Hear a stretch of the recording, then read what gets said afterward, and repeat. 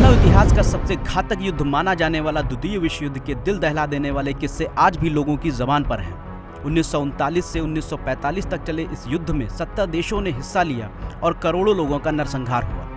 भारत के सैनिक भी इस युद्ध का हिस्सा बने और लाखों वीर गति को प्राप्त हुए। मुरादाबाद में मौजूद बम वर्षक विमान हरिकेन आज भी उस युद्ध की शौर्य गाथाएँ बयां करता नज़र आता है। अंग्रेज़ों की वायुसेना का यह विमान मुरादाबाद स्थित पुलिस अकादमी परिसर में मौजूद है। तकनीकी खराबी के चलते इस बम वर्षक विमान को मुरादाबाद में उतारा गया था, जिसके बाद यह कभी वापस नहीं जा सका।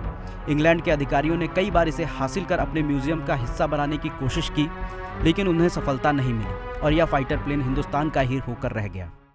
ब्रिटेन का जो है आरएफ वायुसेना का बम वर्षक विमान है, जो द्वितीय विश्व युद्ध में इसका युद्ध के दौरान इसने भाग लिया था। और ये यहाँ कुछ तकनीकी खराबी के कारण बंगला गाँव है, उसका एक ग्राउंड है मतलब खेत है वो, वहाँ ये उतारा गया था। Doctor Bhimrao Ambedkar police academy के परिसर में खड़ा यह फाइटर प्लेन इंग्लैंड की वायुसेना आरएफ का हॉकर हरिकेन 2B है। द्वितीय विश्व युद्ध में इस विमान ने इंग्लैंड को युद्ध में कई निर्णायक नतीजे दिए थे।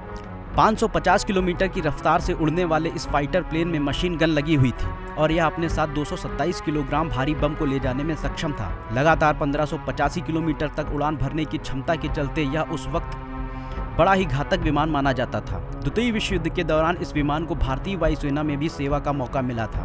तकनीकी खराबी के चलते इस विमान को द्वितीय विश्व युद्ध के बाद मुरादाबाद के बंगला गाँव स्थित एक मैदान में उतारा गया था, जिसके बाद पीएससी ने इसे अपने कब्जे में ले लिया। उन्नीस सौ सैंतालीस में अंग्रेज़ों के वापस लौटने के बाद अंग्रेज़ अधिकारी इस विमान को वापस लंदन ले जाना चाहते थे और इसके लिए कई दौर की वार्ता भी हुई।